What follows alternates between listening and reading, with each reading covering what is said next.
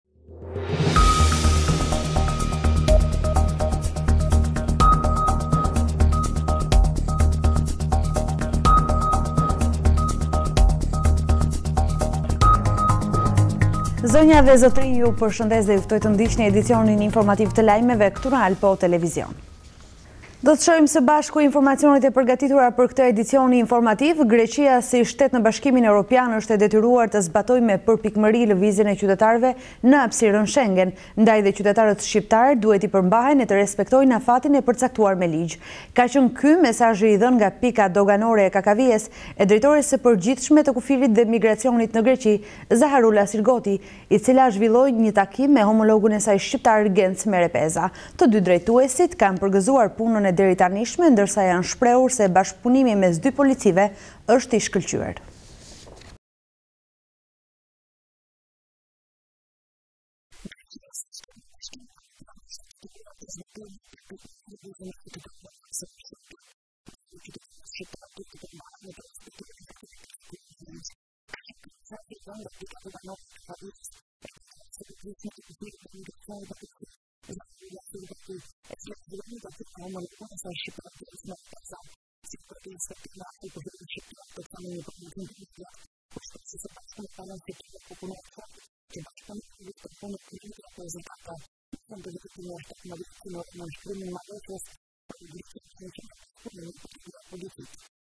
η ελληνική και η αλβανική αστυνομία συνεργάζονται χρόνια τώρα ε, με κάτω από συνθήκες ε, φιλικές μεταξύ των δύο αστυνομιών. Euh, euh, euh, Ο σκοπός της αστυνομίας τόσο της ελληνικής όσο και της αλβανικής είναι η καταπολέμηση του διασυνοριακού εγκλήματος συμπεριλαμβανομένη στις ε, ε, αντιμετώπισης της διακίνησης ναρκωτικών, της παράνομης μετανάστευσης, του οργανωμένου εγκλήματος και της τρομοκρατίας. Ε, Βεύρινε Παλίτσι με τα, τα Μιγράντα.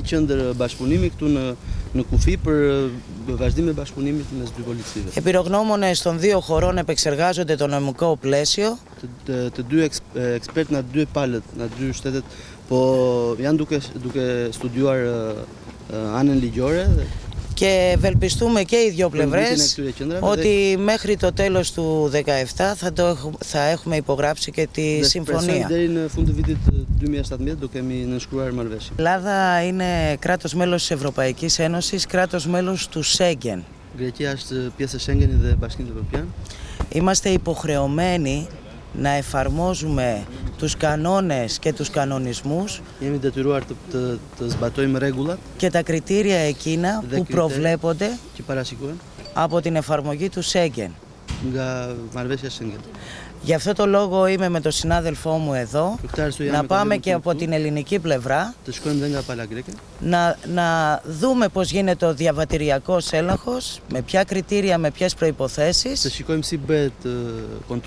και να δούμε από κοινού τι μπορούμε να βελτιώσουμε και πώς μπορεί οι Αλβανοί πολίτες να ενημερώνονται πιο γρήγορα. Ναι, δεν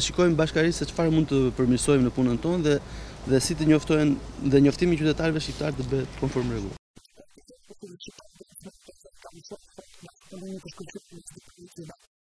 Kriminaliteti nuk ka kombësi, as shtetësi. Kështu që dhe ne si polici punojmë bashkë duke i shmangur dhe barrierat burokratike që janë për të luftuar kriminalitetin.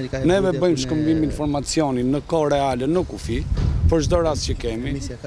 Identifikojmë shtetas që kalojnë në mënyrë të paligjshme kufirin, njoftojmë palën greke, i themi që kaq shtetas po kalojnë në mënyrë të paligjshme në drejtimin tuaj, merrni masa për t'i identifikuar dhe ndaluar. Pala greke na njofton neve për raste të ngjashme. Domethënë ne punojmë bashkë dhe kjo është ajo mesazhi më i rëndësishëm që ne mund të japim sot. Policitë do të jenë në shërbim të qytetarëve,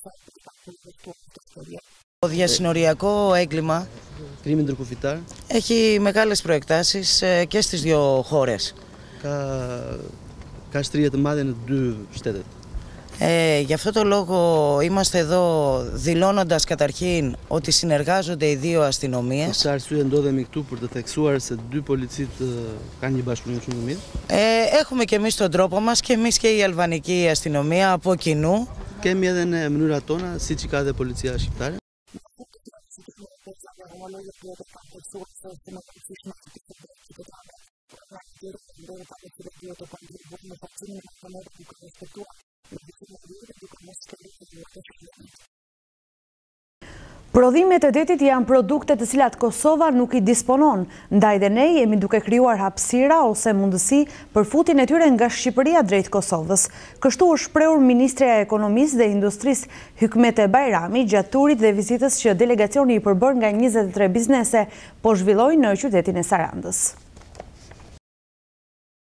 Prodhimet e detit janë produkte të cilat Kosova nuk i disponon, ndaj dhe ne jemi duke krijuar hapësira ose mundësi për futjen e tyre nga Shqipëria drejt Kosovës. Kështu është shprehur ministrja e Ekonomisë dhe Industrisë Hykmete Bajrami gjatë turit dhe vizitës që delegacioni i përbërë nga njëzet e tre biznese po zhvillojnë në Sarandë, ku dhe janë ndalur në fabrikën e përpunimit të midhjes. Ne nuk kemi produktet e tilla. Është mirë që kemi një vizitë të tillë dhe kemi një delegacion të madh të bizneseve, të cilat kanë mundësi të shohin stabilimentet e tilla për të pa që produkti nuk del i pakontrolluar në treg.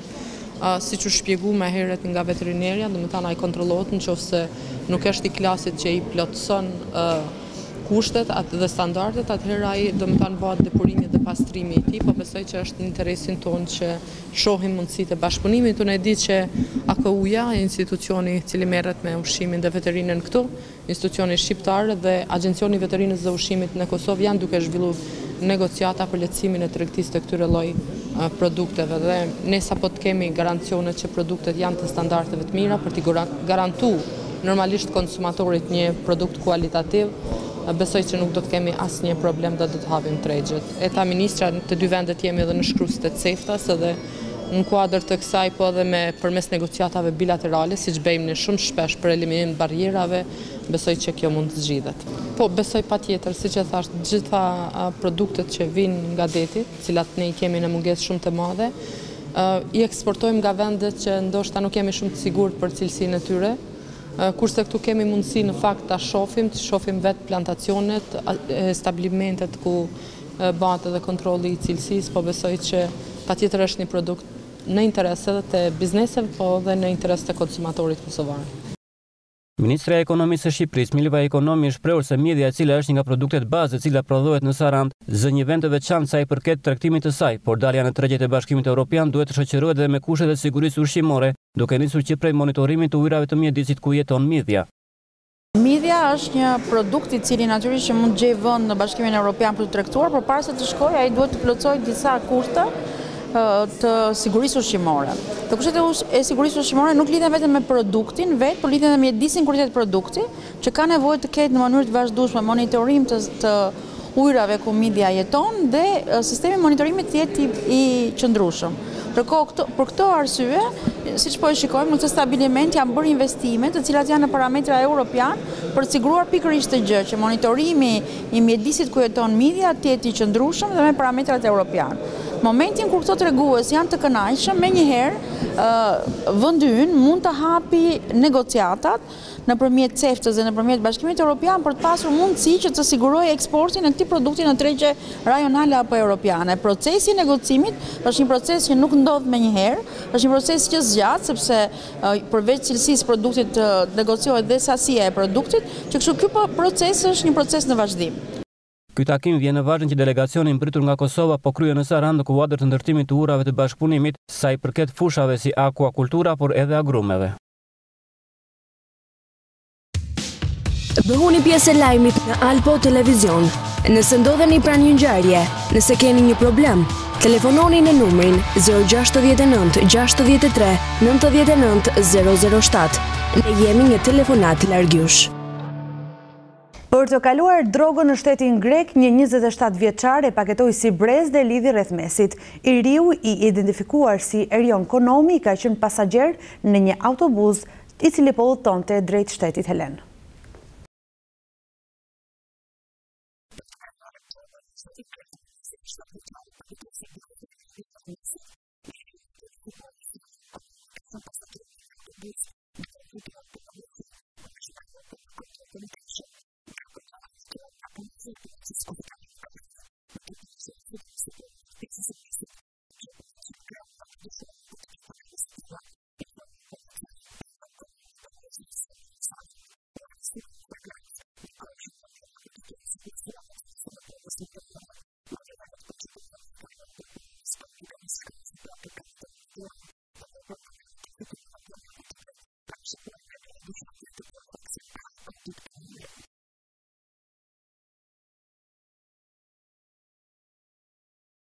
Që prej një janarit dy mijë e pesëmbëdhjetë edhe burrat kanë të drejtën e përfitimit të lejes së lindjes.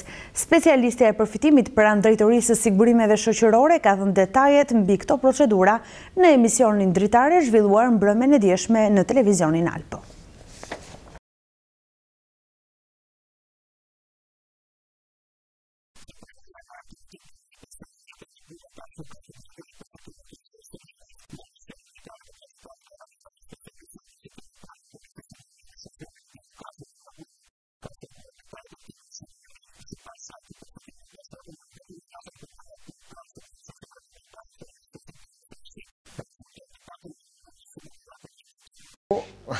Zonja Ela na çuditi pak me një me një fjali që tha dhe burrat kanë drejtë marrin leje lindje.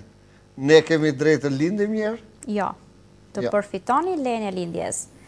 Kjo ndodh kur nënat nuk kanë sigurime, mund të paguhen bashkëshortët, babai i fëmijës, në qoftë se gjithmonë përmbush kushtet. Pra të ketë një vit sigurim, ose dymbëdhjetë muaj sigurim. Po dale të qëndrojmë çik këtu, po, se dua domethënë ta sqarojmë mirë këtë pikë se përfiton babai i fëmijës atë, po, apo bashkëshorti? Babai i fëmijës. Se ndryshon se ka një ndryshim. Atëherë, Në certifikatën familjare, në certifikatën familjare i jati që kujdeset për fëmijën, në qoftë se nëna nuk ka mundësi ose nuk ka kushte. Domethënë është në ligj quhet bashkëshorti apo babai? Babai i fëmijës. Po babai i fëmijës. Babai i fëmijës, bashkëshorti. Nuk na ka ardhur asnjë rast që të jetë. Jo më kupto se ne gazetarët domethënë shikojmë këto gjëra dhe ndaj. Deri tani s'kemi patur asnjë rast që babai i fëmijës të jetë tjetër dhe bashkëshorti në certifikatë familjare të jetë tjetër. Flasim për të jatin e fëmijës që kujdeset për fëmijën.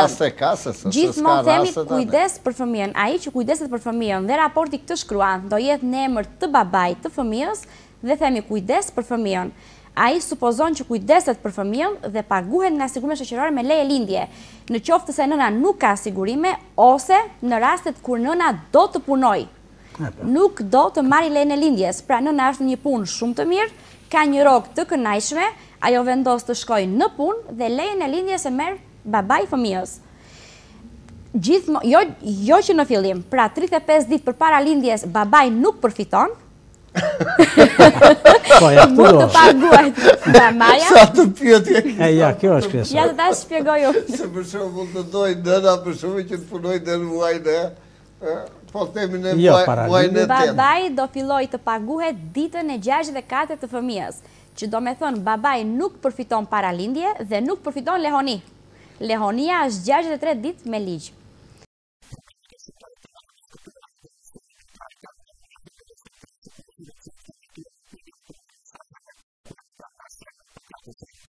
Domethënë, vetëm pas kësaj, pas kësaj fillon të paguhet babai ditën e 64. Këtë mund ta përfitojë nëna. Domethënë nëna mund të marri paralindjen, mund të marri dhe lehoninë pasi ka lindur 63 ditë dhe kalon direkt leja e lindjes tek babai. Në habitë të dhe pra. Në avut të dyshim se dhe së mësot e para erdhe të këtë drejtim. Edhe pikërisht këtë thotë. Që po qe se ashtu thotë, ta dimë thotë që po qe se marrim paralindje thotë, ta shikojmë të jo, punë. Jo, paralindje nuk përfitojnë, as mbaslindje.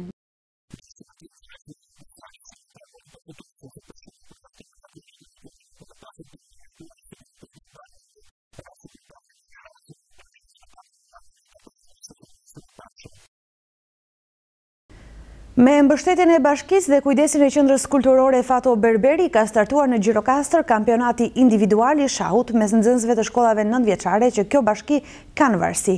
Ky kampionat do të zhvillohet për dy ditë me radhë ku për katër vendet e para do të jepen edhe diplomat fituese. Janë mbi gjashtëdhjetë pjesëmarrës nga shkolla të ndryshme të Bashkisë së Gjirokastrës të cilët do të garojnë mes tyre. Me mbështetjen e bashkisë dhe kujdesin e Qendrës Kulturore Fato Berberi ka startuar në Gjirokastër kampionati individual i shahut mes nxënësve të shkollave nëntëvjeçare që kjo bashki ka në varësi. Armand Mamani, drejtori i Agjencisë Kujdesit dhe Mirëqenies Sociale është shprehur se ky kampionat do të zhvillohet për dy ditë me radhë, ku për katër vendet e para do të jepen edhe diplomat, ndërkohë që fituesi do të përfaqësojë ekipin e Luftëtarit në kampionatin kombëtar. Starton sot një aktivitet i organizuar nga Bashkia e Gjirokastrës në bashkëpunim me Qendrën Kulturore të Fëmijëve. Është kampionati individual i shahut për shkollat nëntëvjeçare të Bashkisë Gjirokastër. Këtë kampionat Qendra Kulturore e Fëmijëve ka 3 vjet që e organizon, por kësaj radhe ky organizim është një natyre tjetër, një dimensioni tjetër. Kemi bërë një kërkesë që fituesit e këtij kampionati, pra 4 të parët, do të jenë pjesëmarrës në kampionatin kombëtar të shahut dhe do përfaqësojnë ekipin e Luftëtarit, ekipin e Gjirokastrës. Është një aktivitet 2 ditor, pretendojmë të ketë 60 deri 70 fëmijë pjesëmarrës në raundin e parë, Dhe nesër do shpallen katër fituesit, të cilët, siç thashë, do të shkojnë të përfaqësojnë ekipin e Luftëtarit në kampionatin kombëtar. Vetë konkurrentët pjesëmarrës të cilët janë që prej klasës së parë deri në atë të nëntë janë shprehur.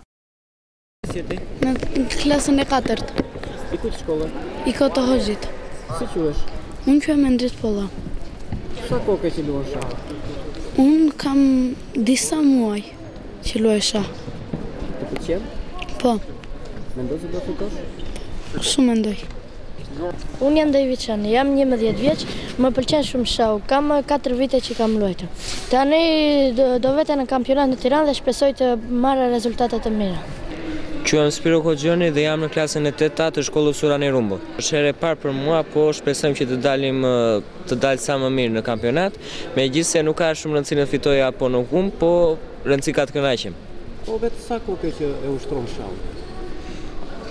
Kam vite, mund të them, por nuk është se kam bërë ndonjë kampionat ose kam hyrë në ndonjë ndeshje zyrtare.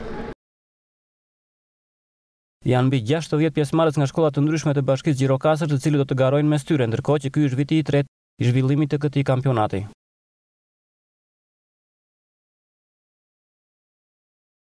Do të flasim tani më për ekipin e Luftëtarit i cili do të jetë nesër përballë Teutës në një transfertë më shumë se të vështirë. Kjo për vetë objektivin e gjirokastritëve ashtu si dhe djemve të detit. Një mision i vështirë, por jo i pamundur për bluzinjtë e Mladen Milinkoviq, të cilët, edhe pse me shumë probleme, shkojnë drejt Durrësit për të marrë më të mirën. Luftëtari do të përballet me Teutën një transfertë më shumë se vështirë, kjo për vetë objektivin e gjirokastritëve ashtu si dhe për djemtë e detit.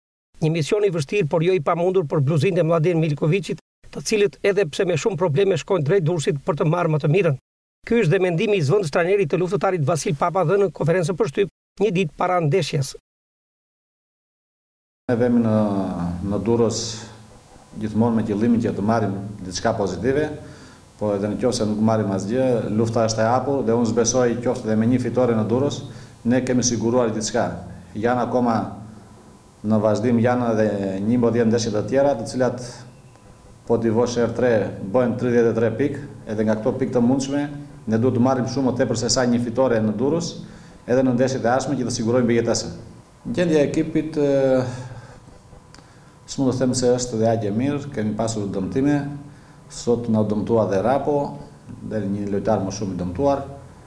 Megjithatë, siç thamë, këto ishin të gjitha brenda planifikimeve tona që nga fillimi i sezonit, kemi njëzet e pesë lojtarë dhe të gjithë duhet të japin maksimumin për të plotësuar vendin e këtyre që janë të dëmtuar ose me kartona. Besoj që dhe në fazën e tretë ekipi ka bërë një ecuri të mirë. Kemi dy fitore, dy barazime, dy humbje. Jemi domethënë brenda planit që ne kishim si staf Për sa i përket pikëve, kemi akoma edhe tre ndeshje për të zhvilluar. Ne pretendojmë maksimumin e pikëve.